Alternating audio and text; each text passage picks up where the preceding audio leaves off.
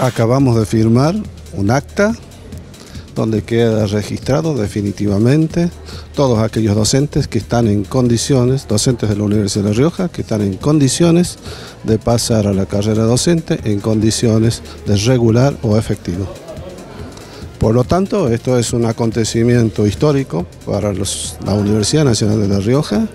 y de esta manera abre una perspectiva de seguridad conforme a la estabilidad para todos nuestros compañeros que durante mucho tiempo en su historia no tuvieron la posibilidad y la seguridad de esa permanencia en su cargo. La verdad que es la primera universidad que lo firma, para nosotros es un hecho muy importante, como decía Franklin recién, porque también nos permite ir avanzando con el ejemplo de la Universidad de La Rioja en otras universidades donde estamos teniendo esta misma discusión,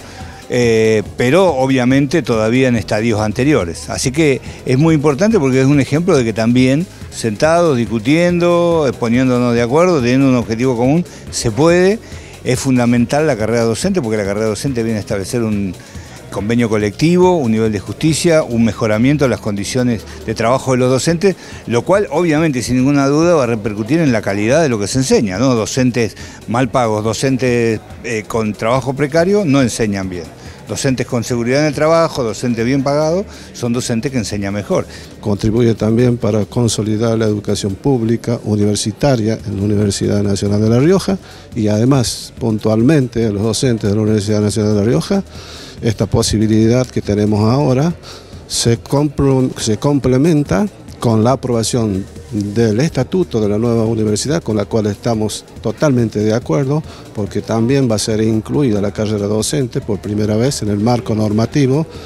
de esa,